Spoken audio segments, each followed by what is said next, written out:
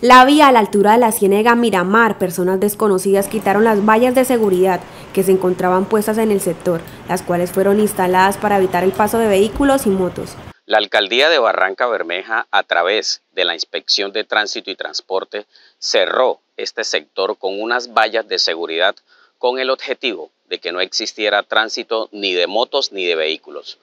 En el día de ayer, de manera irresponsable, varias personas quitaron las vallas de seguridad para que las motos y carros pudiesen eh, transitar. Hacemos un llamado a toda la comunidad para que respeten estas medidas de prevención, toda vez que en estos momentos la bancada está bastante saturada y se corre el riesgo de un colapso de este sector de la vía. Subsecretario de Gestión y Riesgo, Adit Romero, se manifestó e hizo el llamado a conductores y comunidad en general. Es importante recordar que la gestión de desastres es responsabilidad de todos, incluida la comunidad.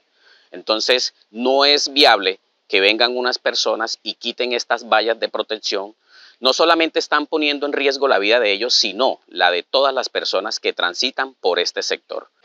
En estos momentos, nuevamente, se va a hacer el cierre como medida de prevención para que no exista ningún flujo vehicular ni de moto en este sector. Cabe recordar que el terreno se encuentra socavado y representa un peligro por lo que se recomienda a la comunidad no transitar por esta vía.